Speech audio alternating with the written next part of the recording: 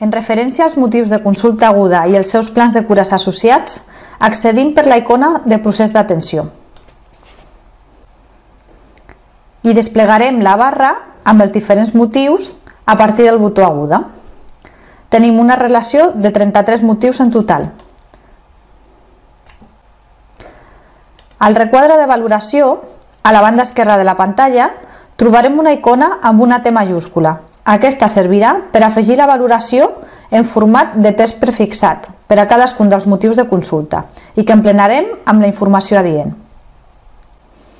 A l'altra part de la pantalla visualitzarem a la vegada els ítems signia de valoració focalitzada, que estan lligats al motiu escollit, així com les al·lèrgies medicamentoses de l'usuari i els criteris d'alerta. Podem registrar les variables exploratòries de l'usuari, tant de forma horària com diària, a la pestanya corresponent. A la pestanya de diagnòstics, un cop realitzada la valoració, l'anamnesi i el registre de variables exploratòries, visualitzarem els condicionats i problemes de salut actius de l'usuari, així com aquells diagnòstics àtics proposats per treballar i relacionats amb el motiu de consulta desenvolupat.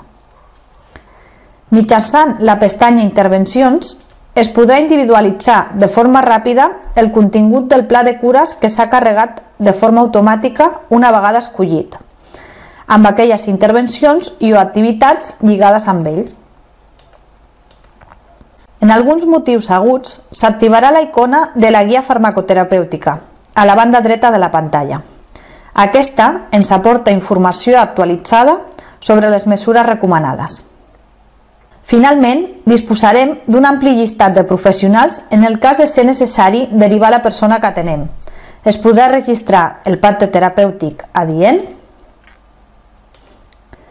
i es mostrarà la data de tancament del pla juntament amb el motiu de tancament. Per realitzar el registre de la nostra actuació anirem a intel·ligència activa. El registre es farà exactament igual que en, en d'altres motius no aguts.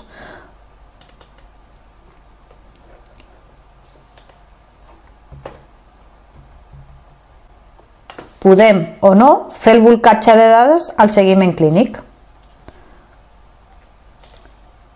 En sortir i tornar a la pantalla de procés d'atenció,